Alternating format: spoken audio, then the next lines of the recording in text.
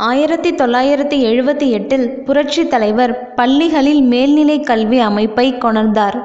இது பழைய பியூசி முறையை மாற்றி அமைத்து கல்லூரிகளில் பயிலும் ஏழை மாணவர்கள் பயனடையும் வகையில் கொண்டுவரப்பட்டது.